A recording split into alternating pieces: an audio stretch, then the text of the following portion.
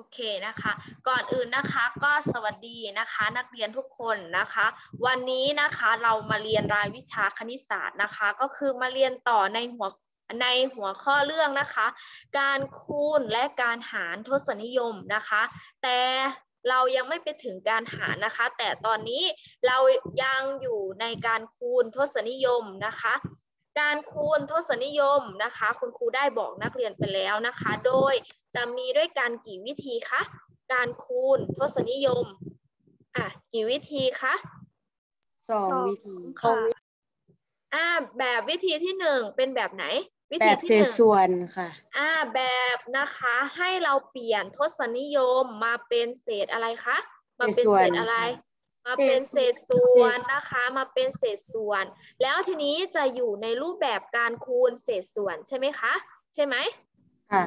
อ่าจะอยู่ในรูปแบบการคูณเศษส่วนนะคะ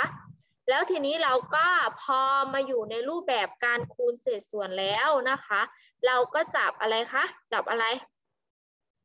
จับอะไรคะ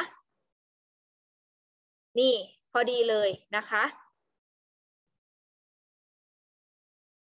นี่คุณครูทบทวนให้เนาะเพราะว่าวันนี้นะคะนักเรียนจะได้ทำนะคะ ได้ทำแบบฝึกหัดหน้าต่อไป ให้อยู่ในรูปเศษส่วนนะคะ ให้อยู่ในรูปเศษส่วนเหมือนที่คุณครูจะอธิบายให้ฟังนะคะ เหมือนที่คุณครูจะอธิบายให้ฟังโดยนะคะ นักเรียนต้องเปลี่ยนนะคะ ทศนิยมให้เป็นอะไรนะคะ ให้เป็นอะไรคะนักเรียนต้องเปลี่ยนทศนิยมให้เป็น เศษส่วนนะคะ เราจะเปลี่ยนแบบไหนนะคะ ให้นักเรียนดูว่าทศนิยมกี่ตำแหน่ง ถ้าทศนิยมหนึ่งตำแหน่งส่วนด้วยอะไรคะนักเรียน ส่วนด้วยอะไรหนึ่งตำแหน่งอ่าหนึ่งตำแหน่งส่วนด้วยสิบสองตำแหน่งส่วนด้วยร้อยหนึ่งร้อยร้อยนะคะสามตำแหน่งส่วนด้วย หนึ่งหนึ่งพัอ่าหนึ่งพันเวลาที่คุณครูถาม นักเรียนตอบมาด้วยนะคะ ถ้านักเรียนพูด นักเรียนตอบมาด้วย การที่นักเรียนพูดเนี่ยมันก็จะเข้าไปในที่สมองของนักเรียน นักเรียนก็จะจำได้ ส่วนที่ใครนั่งเหม่อลอยนะคะ แล้วแต่ครูจะพูดอะไร แล้วแต่คุณครูจะให้ตอบอะไรไม่ตอบเลยนะคะ คนนั้นก็จะผ่านแค่ตา หูได้ยินอยู่ แต่แป๊บเดียวก็ออกมันไม่ไปที่สมองนะคะ ดังนั้นการเรียนที่ดีนักเรียนก็ต้องตอบไปด้วย การตอบนักเรียนไม่ต้องขี้เกียจค่ะ เพราะว่าถ้าเราพูด เราก็จะจำได้ เหมือนที่เราอ่านหนังสืออะเรามาเขียนเราก็จะจำได้นะคะ ดังนั้นตอบพูดออกมาเลย ถ้าไม่ได้ก็บอกว่าไม่ได้นะคะอะทีนี้ในตัวอย่างที่คุณครูยกให้มานะคะ เป็นทศนิยมสองเออเป็นทศนิยมหนึ่งตำแหน่งทั้งสองจำนวนนะคะ มาดูนะคะว่าเปลี่ยนอย่างไรอ่าเราเรียนเศษส่วนมาแล้วนะคะ เราเรียนเศษส่วนมาแล้ว เราเรียนทศนิยมมาแล้วนะคะ อันนี้จะเป็นการคูณการหารทศนิยม ดังนั้นนักเรียนต้องนำความรู้นะคะ ที่นักเรียนเรียนเนี่ยมาใช้ให้เกิดประโยชน์ แล้วก็นำมาใช้ให้เป็น ไม่ใช่ว่าคุณครูสอนเศษส่วนไปแล้วก็ทิ้งไปเลยนะคะ คุณครูสอนทศนิยมไปแล้วก็ทิ้งไปเลยไม่ใช่นะคะ การเรียนคณิตศาสตร์นักเรียน แต่ละหน่วยเนี่ยมันจะสอดคล้องกันไปเรื่อยๆนะคะ สอดคล้องกันไปเรื่อยๆนักเรียนเคยสังเกตไหมว่าทำไมเขาไม่ ให้คุณครูสอนเรื่องการคูณทศนิยมก่อน เพราะว่าเรายังไม่เรียนทศนิยมแล้วก็เรียนเศษส่วนใช่ไหมคะ ดังนั้นเราก็จะไม่รู้เรื่องนะคะ ทีนี้นักเรียนดู 1.7 เนี่ยเขาเปลี่ยนนะคะ เศษส่วนได้อย่างไร เห็นไหม 1.7 อ่าดูตามนะคะ 1.7 7เนี่ยทศนิยม 1ตำแหน่งนะคะ เขาก็เลย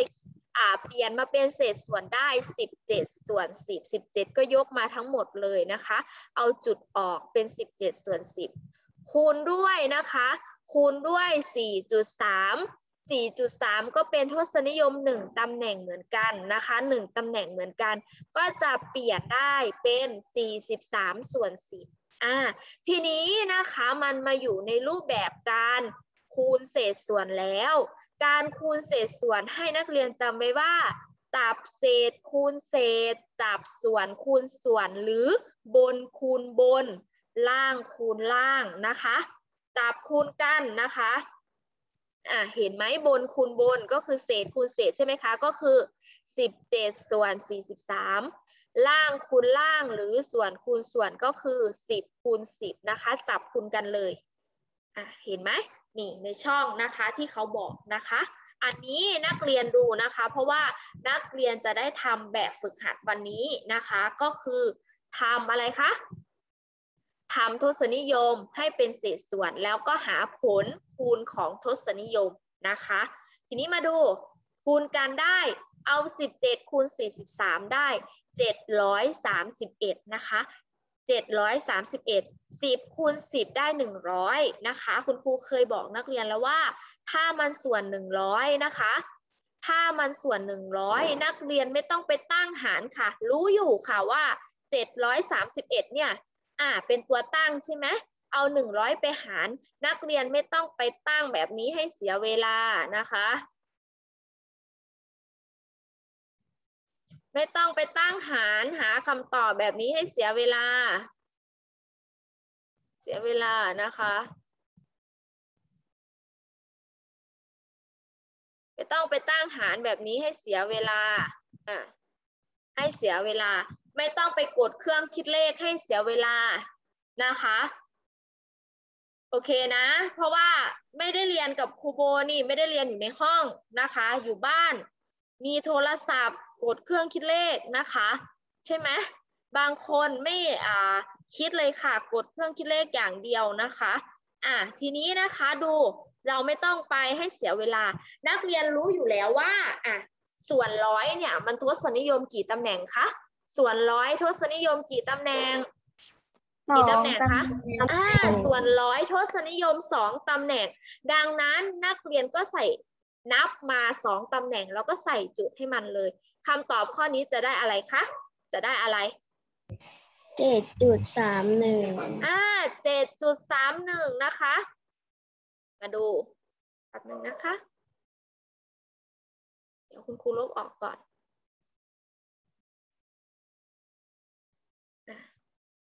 เจ็ดจุดสามหนึ่งนะคะเจ็ดจุดสามหนึ่งพอเราได้ส่วนเป็นร้อยส่วนเป็นพันแล้วก็ส่วนเป็น สิบเราสามารถตอบคำถามได้นะคะ แล้วทีนี้ครูโบจะลองยกตัวอย่างให้ฟังสมมตินะคะ สมมุติว่าข้อนี้นะคะ สมมุตินะเจ็ดร้อยสามสิบเอ็ดส่วนสิบเจ็ดร้อยสามสิบเอ็ดส่วนร้อยมีแล้วเนาะอยู่ตรงนั้นเจ็ดร้อยสามสิบเอ็ดส่วนด้วยห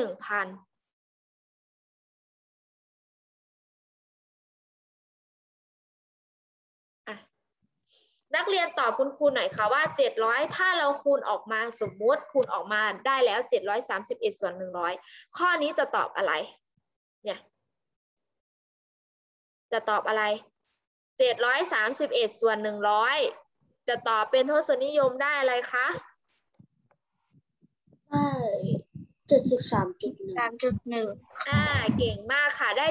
73.1ทำไมถึงจุดหนึ่งเพราะว่าส่วน10เรารู้อยู่ในใจเราแล้วนะคะ เรารู้อยู่ในใจเราอยู่แล้วว่า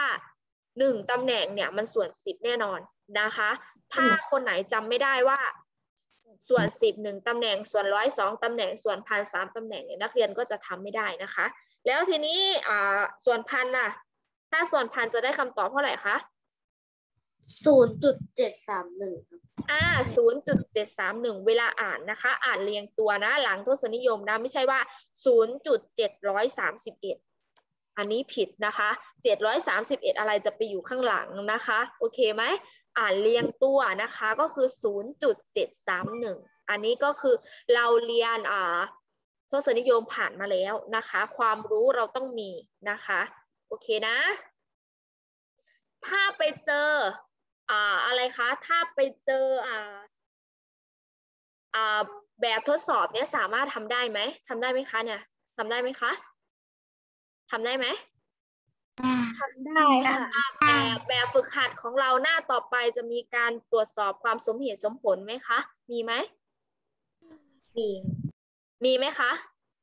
ไม่มี ไม่มีค่ะ ไม่มีใช่ไหมคะ ไม่มีดังนั้นเราก็ตอบแค่นี้ นะคะ หาเราก็ตอบแค่นี้ แล้วถ้าเมื่อถ้าไม่มีครูโบจะยกตัวอย่างอีกตัวหนึ่งฝั่งข้าง ๆ นี้ให้ดูนะคะอะยกตัวอย่างนะคะ สมมติ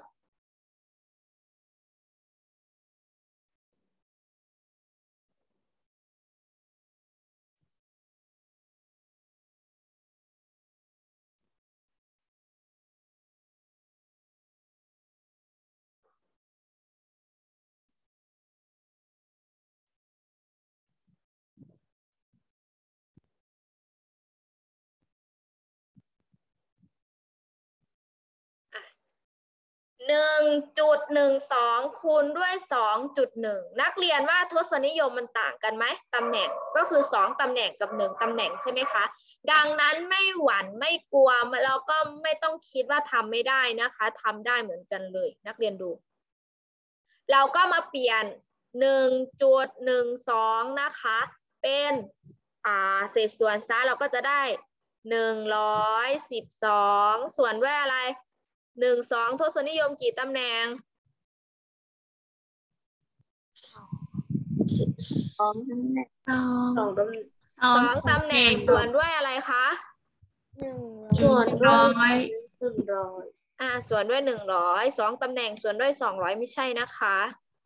ส่วนด้วยหนึ่งร้อยคูณด้วยอะสองจุดหนึ่งล่ะ เราจะได้อะไรยี่สสิอบงเอ็ดได้อะไรคะ ยี่สิบเอ็ดส่วนสิบส่วนสิบ อ่ายี่สิบเอ็ดเก่ส่งวนมาสิกบค่ะ เราจะได้ยี่สิบเอ็ดส่วนอะไรคะสิบสิบค่ะอ่าส่วนสิบอะคูณกันสิทีเนี้ยคูณกันสิได้เท่าไหร่ ได้เท่าไหร่คะ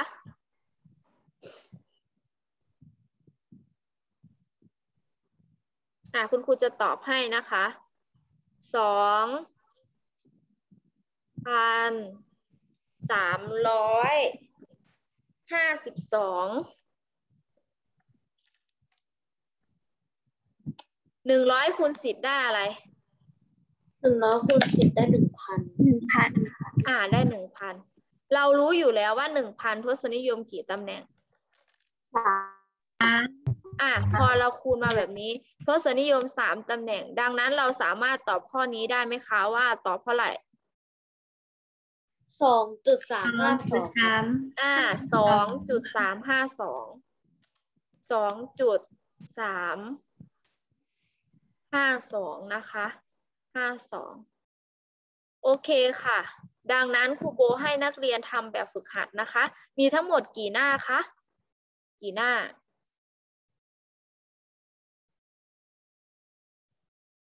กี่ข้อแล้วก็กี่หน้าคะหน้าเดียวแปดข้อครับ อะดังนั้นทำแปดข้อค่ะ หน้าที่เท่าไหร่คะเก้าสิบเก้าอะไรนะ ไม่ได้เก้ายินสิบค่ะเก้าค่ะสิบเก้าห้าสิบเก้าใช่ไหมคะ ดังนั้นทเก้าำค่ะเก้าสิบเก้าเก้าสิบเก้าอะโอเคค่ะเก้าสิบเก้าใช่ไหมใช่อะทำค่ะ แล้วก็คุณครูก็เอาตัวอย่างให้ดูอยู่บนหน้าจอ คนไหนไม่เข้าใจก็ดูตัวอย่างนะคะทำหน้าที่เท่าไหร่บ้างนะคะเก้าสิบเก้าค่ะ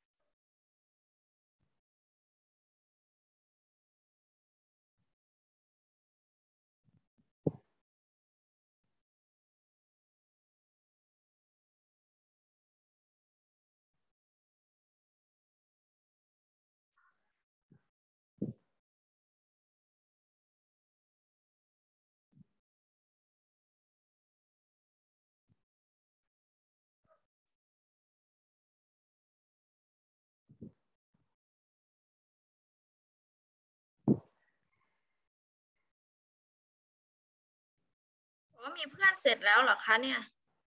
ใช่ไหมเสร็จแล้วค่ะ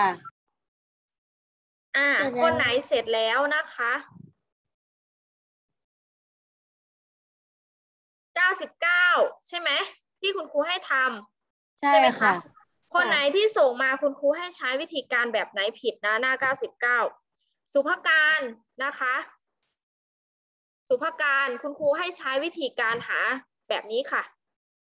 สุภการทำหน้าเก้าสิบเก้าใหม่นะคะ อันนี้ทำไปก่อนครูสอนใช่ไหมใช่ไหมคะ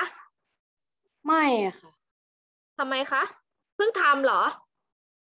ใช่ค่ะ อ่า คุณครูให้ทำแบบอ่าหาเศษส่วนนะคะ อ่าทำเปลี่ยนเป็นเศษส่วนทำใหม่นะคะ แป๊บเดียวไม่เป็นไรนะคะทำแป๊บเดียวเนาะ อ่าดีมากนะคะ เราต้องใช้วิธีการหลาย ๆ แบบนะคะ ใช้วิธีการหลาย ๆ แบบอะ สุภาการทำใหม่นะคะ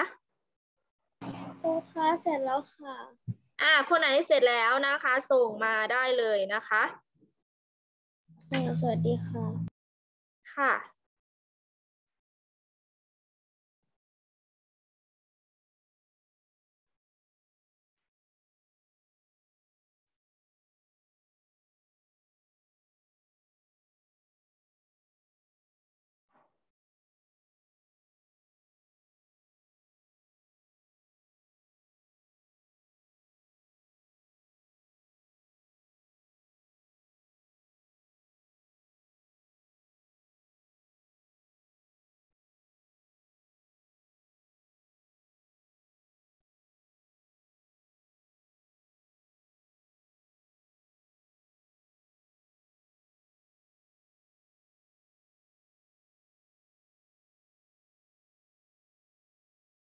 มีคนไหนนะคะ สามารถทำได้ไหม มีใครมีคำถามอะไรไหมคะ มีไหม มีไหมคะ ใครมีคำถามอะไรไหมคะ ก็คือวันนี้นะคะนักเรียนทำแบบฝึกหัดหน้า 99 นะคะ มีทั้งหมด 8 ข้อนะคะ โดยให้นักเรียนใช้วิธีการคูณทศนิยมแบบอะเปลี่ยนนะคะ เปลี่ยนเป็นเศษส่วนนะคะ เปลี่ยนเป็นเศษส่วนนะคะ ไม่ใช่ตั้งคูณนะ ให้นักเรียนใช้วิธีการเปลี่ยนอะทศนิยมเป็นเศษส่วน แล้วก็เราใช้หลักการคูณเศษส่วนนั่นเองเพื่อที่จะมาหาคำตอบนะคะ โอเคนะ ใครมีคำถามอะไรไหมคะ มีไหม ถ้าไม่มีครูโบก็จะปล่อยให้นักเรียนไปทำงานค่ะ มีไหมคะ มีไหม ไม่ครับไม่มีใช่ค่ะ ไม่ค่ะ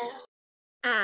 ไม่มีเนาะโอเคนะคะ ให้นักเรียนนะคะส่งงานกันทุกคนนะคะ แล้วอย่าลืมนะคะวันพรุ่งนี้เนาะเราจะมีการสอบนะคะ เราจะมีการสอบ ดังนั้นให้นักเรียนนะคะ เข้ามาทำการทดสอบทุกคนนะคะ เข้ามาทำการทดสอบทุกคนเนาะสำหรับวันนี้นะคะ เมื่อนักเรียนไม่มีคำถามแล้วนะคะครูโบก็จะปล่อยให้นักเรียนนะคะ ไปทำงานแล้วก็ส่งคุณครูในวันนี้เลยนะคะ นักเรียนไม่ต้องไปดองงานไว้นะคะ มันก็จะไปเป็นภาระของเรางานก็จะเพิ่มขึ้นเรื่อยๆ ดังนั้นให้นักเรียนรีบทำนะคะ เพราะว่าเวลายังเหลืออยู่นะคะ ก่อนที่นักเรียนจะทำอ่าจะสอน เออจะเรียนตอนบ่ายนะคะ เวลาเหลืออยู่ดังนั้นให้นักนักเรียนรีบทำนะคะ ทั้ง5ทับ2แล้วก็5ทับ1รีบทำให้เสร็จนะคะ โอเคนะคะสำหรับวันนี้นะคะ ชั่วโมงคณิตศาสตร์นะคะ ก็หมดเวลาลงแล้วนะคะ เจอกันใหม่ค่ะ ในวันพรุ่งนี้ค่ะ สวัสดีค่ะ